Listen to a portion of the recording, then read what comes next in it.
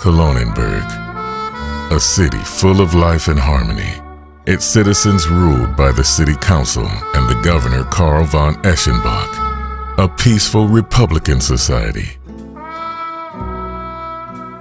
Yamagami Corporation. They drive over every living thing that stands in their way. Greetings, dear citizens.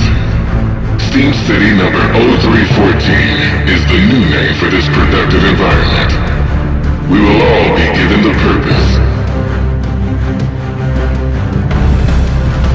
Yamagami Corporation's faceless soldiers rounded up anyone they found in the ruling house of Eschenbach, then imprisoned and tortured them to death. It seemed the blood of the Eschenbach family has now ended.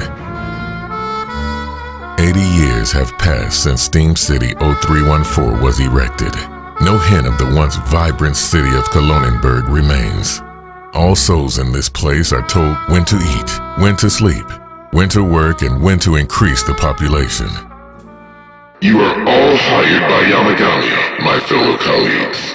No one will be left behind.